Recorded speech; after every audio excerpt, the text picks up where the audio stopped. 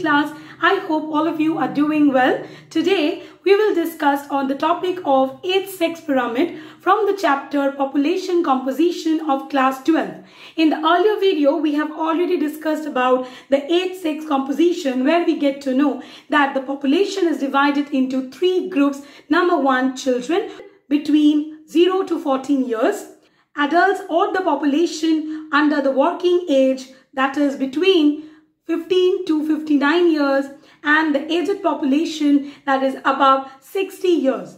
In this video, we will know about the age sex pyramid. So now let us understand what do you mean by age sex pyramid. Here you can see a graphical representation.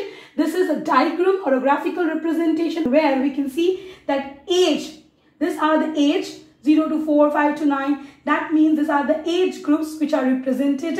And here we can see that graphs are represented which shows that how many people belong to this age from 0 to 4, 5 to 9, 10 to 14 this way. Now what does this graphical representation call? This is called age sex pyramid. So what is age sex pyramid? It is graphical representation to show distribution of various age groups in a population. So what is an age sex pyramid? It is a graphical representation to show the distribution of various age groups in a population. We can see distribution of various age groups are shown in this graphical distribution. The left side represents male population and the right side represents female population. So we can say that age sex pyramid also shows the number of males and females in a country. Age sex pyramid tells us about the characteristics of the population.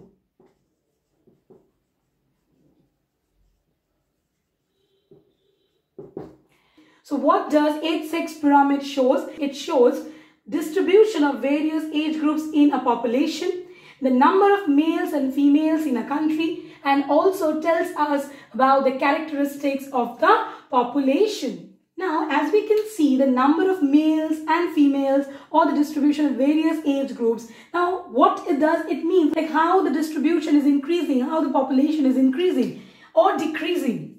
So we can say that age sex pyramid is the cumulative of past trend in birth rate, death rate, and migration. That means that here as we are showing the distribution of various age groups in a population and this has resulted from what? From the birth rate, death rate and migration. So age sex pyramid is a cumulative of past trend in birth rate, death rate and migration. Now let us know that why do we need age sex pyramid or what is the importance of age sex pyramid. Now let us understand the importance or the characteristics of the age sex pyramid. So age sex pyramid is what? Is a graphical representation.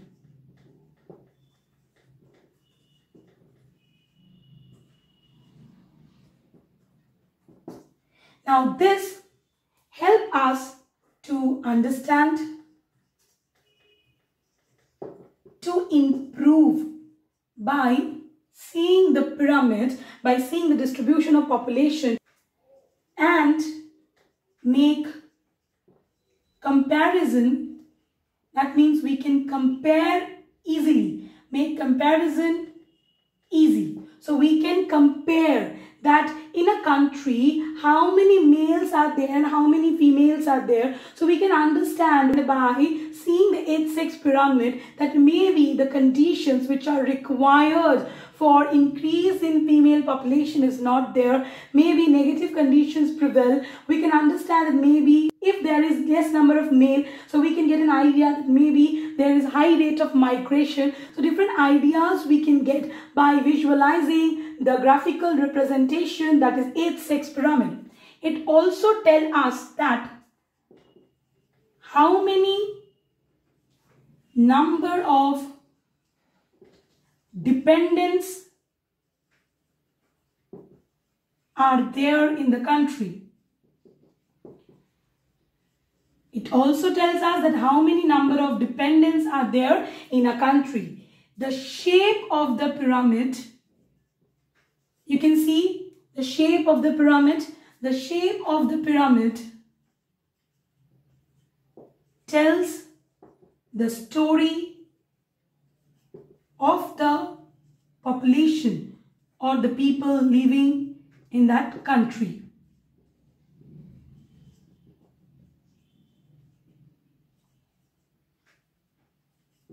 Now when the age pyramid displays growing population, sometimes we will see that they have a distinctive type shape. That means the shape of the pyramid is distinctive from other pyramid. So we can say that when they displace growing population they have distinctive pyramid shape so by seeing the shape of the pyramid, we can understand the condition of the people living there. We get an idea about the population. We get an idea that what are the negative factors which are leading to increase in population or decrease in population or there are a large number of population in the age group between 0 to 4 or 20 to 24 or there are large number of population between 70 to 75. What are the reasons for this? So when we show a growing population, the shape shape of the pyramid is distinctive. Now, let us know that what does this pyramid reflects or what does it shows. Now, we can look at the age sex pyramids. Now, what does it shows? Here at the base, this portion shows the number of children. As it will be more wide, that means the number of children is more. That means the birth rate is high. The middle, that means from 15 to 59, we will see the middle portion. It represents the working population. The top of the pyramid represents aged population. If the top of the pyramid will be narrow, then it means the death rate is high. So, by looking at the pyramid, we get an idea about the birth rate, about the death rate, and also about the working population. If in a country, the death rate is high and birth rate is also high, that means the country is less developed country. In a country where there is low birth rate and there is low death rate, that means it will create a lot of pressure for the working population. In a country where the birth rate will be equal to death rate, that country the population will increase but at a constant rate. That means the increase in population is stationary or we can say that is a constant population. So with the help of the pyramid, we can understand that how many number of male and female are there in a country. We can understand that how many number of dependents are there in the country. We can get an idea about the birth rate, about the death rate and also about the working population. So age sex pyramid is an important tool by which we can understand the population composition and demographers use this age sex pyramid to understand and to compare that the which countries have high death rate which countries have low death rate? What are the reasons for the high death rate? What are the reasons for the low death rate? Which are the countries where population is growing very rapidly? Which are the countries where there is a slow growth in population? Which are the countries where population is constant or stable? That all can be understood only with the help of this graphical representation that is age sex pyramid. Now, age sex pyramid are divided into three types. We will know about three types of age sex pyramid. The three types of age sex pyramid that we will read are expanding population pyramid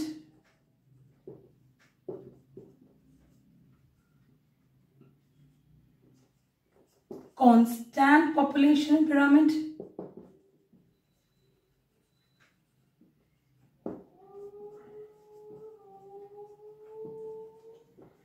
and declining population pyramid.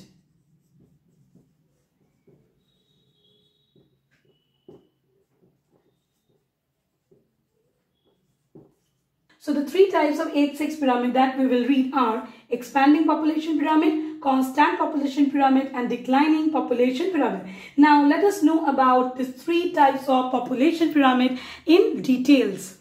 As we discussed that there are three types of age sex pyramid, now let us know in details about the three types of age sex pyramid. Now we will know about the first type of age sex pyramid which is expanding or expansive age sex pyramid. Here you can see a illustration of age sex pyramid of Nigeria. Now by looking at the shape of the pyramid what we can understand the shape of the pyramid is triangular the base of the pyramid is broad and the apex is narrow. Now what does this triangular shaped pyramid illustrate? The triangular shaped pyramid with a wide base and a narrow apex is typical of less developed countries. Here the age sex pyramid that we can see is of Nigeria. Other less developed countries with expanding pyramid are Mexico and Bangladesh. It depicts expanding population. As we can see that the base is wider so it means that in the lower age group the population is quite high which means the birth rate is high. And what are the causes for this high birth rate? It is probably due to the factors like developing economy, poverty, low levels of female education and less awareness of birth control measures. Now, as we can see that the apex of the pyramid is narrow, thus it indicates high death rate. That means life expectancy is low. Now, what are the reasons for this high death rate? The reasons are poor living conditions, lack of medical facilities, which may be responsible for high mortality rate among the elderly, in such countries, we can see that there are higher population of children compared to the working and the old age. This results in a strain on the working age population to support larger younger population making them work in stressful conditions. So, the shape of the pyramid reflects expanding population. Thus, it is reflecting the characteristics of the population. Now, let us know about the next type of population pyramid that is constant or stationary population pyramid. With the word stationary or constant, we can well understand that the countries who represent this population pyramid, there the population growth is stable, neither rapid nor very slow. Now let us understand what does the population pyramid explains by looking at the diagram of the population pyramid. Now by looking at the diagram of the population pyramid, we can understand that the shape of the population pyramid is bell shaped so the population pyramid is bell shaped and it is tapered at the top. So it is bell shaped and tapered towards the top with almost the same number of people in all age groups. Thus, this population pyramid shows that the birth rate is equal to the death rate which means leading to a near constant population like in Australia. And this population pyramid which is illustrated here it is a population pyramid of Australia. Now as we can see that at the top it is slightly taper which is perfectly natural. Why? Due to more death rates. Now why the death rates are occurring occurring among the elderly such countries have a high life expectancy where more people live to a ripe old age due to better living conditions and medical facilities and geriatric care. They also have a stable rate of birth. Why? Because here they have more awareness in the use of birth control measures along with the empowerment of women. Such a pyramid shows a stable increase in the country's population with time. It can also be regarded as a population pyramid which is showing an unchangeable pattern of fertility and mortality. Now, let us look at the last type of population pyramid that is declining or constrictive population pyramid. This population pyramid are represented by an age-sex pyramid which has a narrow base. As you can see in the diagram that is illustrated here that here we have a narrow base and a taper top and a wider central part which means slighter constriction in the younger age. This indicates low birth rate and low death rate with higher percentage of people in the middle age. So we can well understand that the base is narrow and the top is taper whereas the central portion is wider which indicates low birth rate and low death rate with higher percentage of people in middle age. This population pyramid is typical of the developed countries like Japan. Now this population pyramid which is illustrated here, it is of Japan which shows an aging population with the majority of people between the age group of 30 and 70. There are also significant numbers of people, especially women, over 90 in Japan. Their life expectancy is high as living conditions is good, leading to a higher number of older people than youth in the country, which places a burden on the working age population to support the large number of elderly dependents.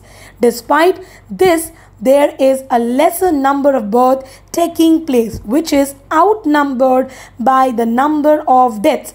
The decrease in the number of births indicates that people are choosing to have less children.